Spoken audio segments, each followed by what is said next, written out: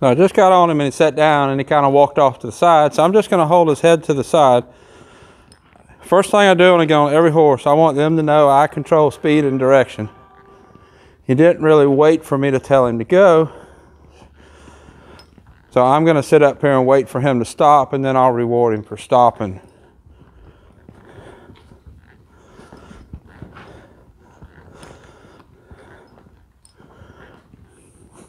I'm just going to sit here. Good boy. And wait on him. Now let's go to the right. Again, he walked off without me asking. I'm going to bend him to the right and wait for him to stop.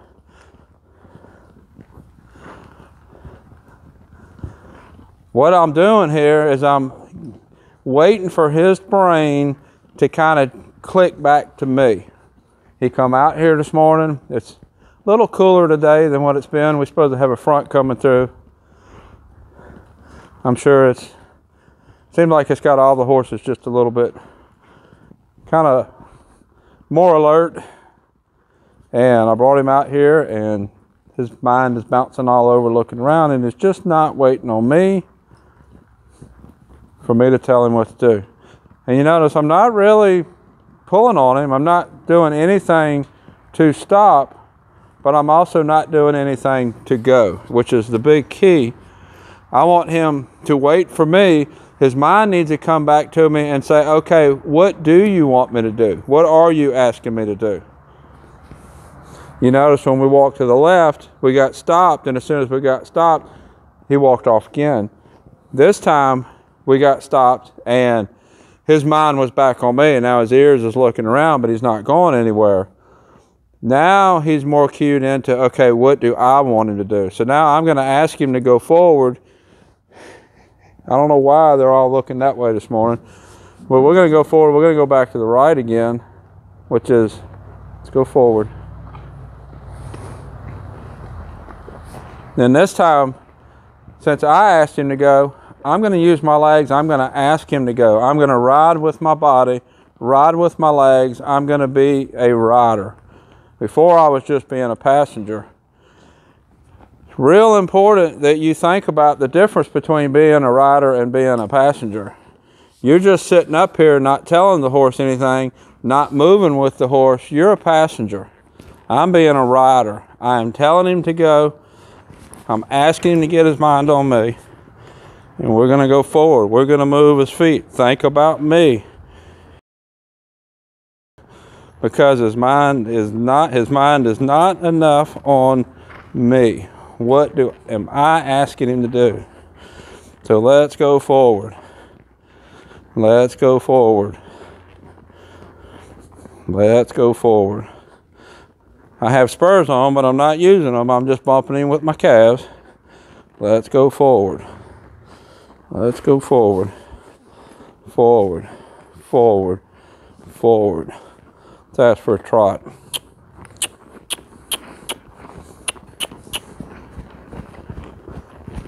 Put his mind to work. Now, when I got on, I said, I want to control what direction we go in and how fast we get there. I want their mind on me. When their mind is on me, then you're not going to get into near the number of accidents that you would get into if you're just letting the horse's mind drift around. Talk to a lot of people with a lot of problems with their horse, and that is really the root of their problems. They're not being the leader, they're being a passenger. They're getting on the horse's back and not really telling the horse anything. They think they are. They're pointing their nose in a direction, and they'll use their body to say go forward but they're not being a rider. They're not riding every step like dancing with your dance partner. Want to be dancing together with your dance partner. Now let's ask him to trot a little faster, make it a little bit of work. He wants to have a really slow pleasure trot.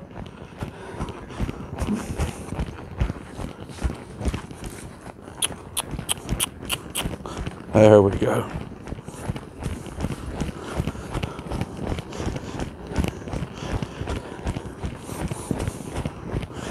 Now, one of the things that I've been working on with this horse is getting him to travel a little better. He doesn't really travel that great. He's straight legged in the back, a little bit post legged, and he doesn't bend his hocks and his stifles really good when he travels. There's all kinds of ways that people come up to work with. You can work poles, which is pretty effective if you're riding English. Because if you're riding English, you're typically going to do some sort of grid work where a lot of Western riders, what they do is they go to trotting up, up and down hills, which can work, but the problem with that is it doesn't really transfer into when you're riding on flat ground. You're not building in a cue to teach the horse to pick his back up and move his hocks. So what I like to do, I like to working on flat ground. I like to ask the horse to push out some.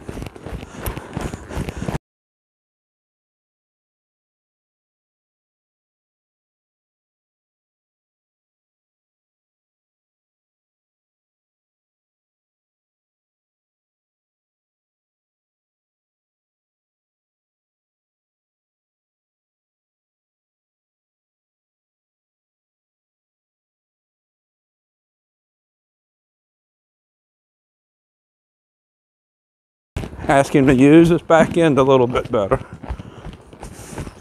Let's trot out again.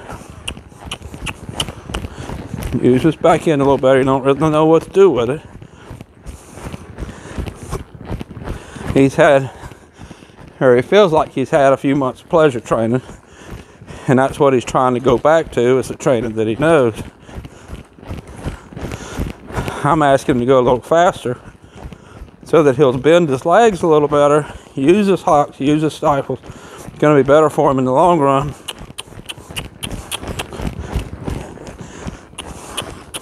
And it's also going to get him to move better. Let's talk a little bit about, I said it'd be better for him in the long run. Let's talk about why. If that back foot is coming forward and it's traveling straight and it's hitting the ground straight, straight then his stifles and his hocks is going to take a lot of the concussion of moving. And post legged horses tend to have some trouble with their stifles and their hocks because of moving that way. But by getting him to try to bend his leg more, reach further under him, use those hocks and stifles better, he'll bend them better and he'll be less likely to have a problem later. A little faster. When I ask him to go faster, he don't really know how to move faster.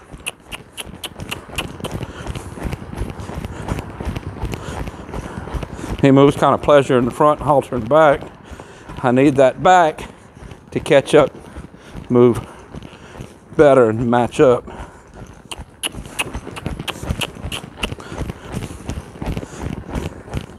There we go.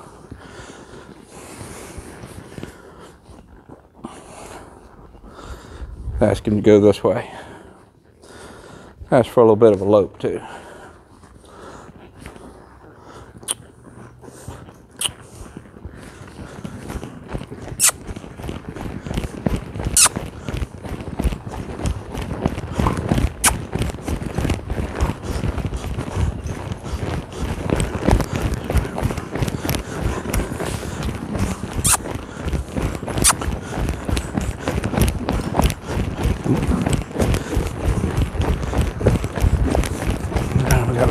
Trot. Let's work this a minute. He's trying to transition to the lope. I feel his body getting really stiff. Let's work this trot a little bit.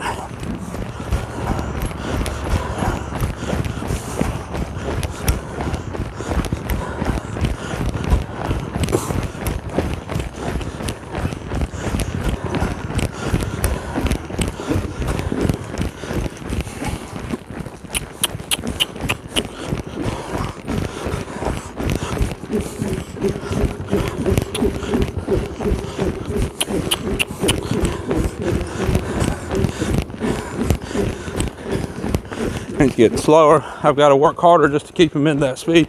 That's for a lope open again.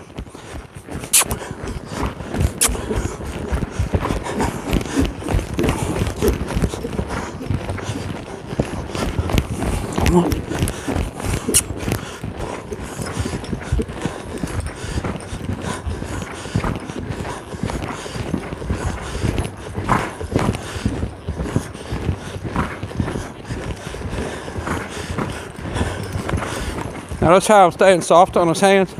not really asking him to bridle up. And the reason is I'm asking his back to push.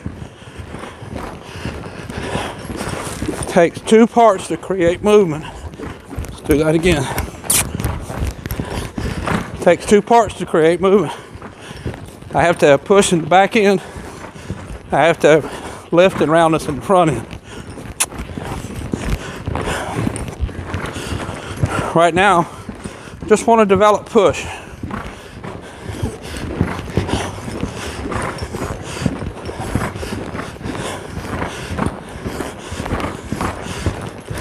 As I develop push, some of that lift and roundness is going to come on its own.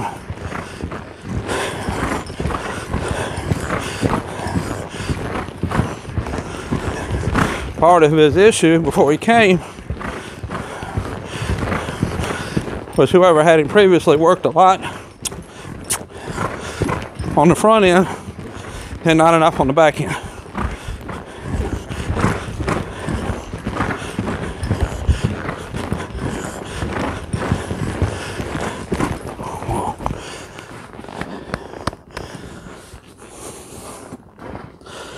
So we're going to keep moving him out more, asking the back end to push. I rarely work the back end and the front end in the same exercise.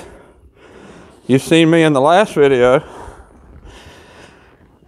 pushing the shoulders over, getting counter bend, getting leg yield, asking his front end to move over like that. And that has come along a little bit. It could be softer, it could be better, but he made progress there.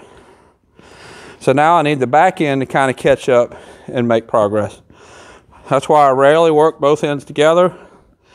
If I work the back end one day and then I work the front end the next day, I, I still work the front end some or the back end some because we're moving forward, but it gives a little bit of a break. It gives it time to recover. And that way I feel like I can make better progress working it that way. Where if I work both the front end and the back end in the same day, it doesn't go as good the next day on either part. So this is Purdy. I'll put a link up here to the other videos that I've done of him on YouTube. Until next time, thank you for watching.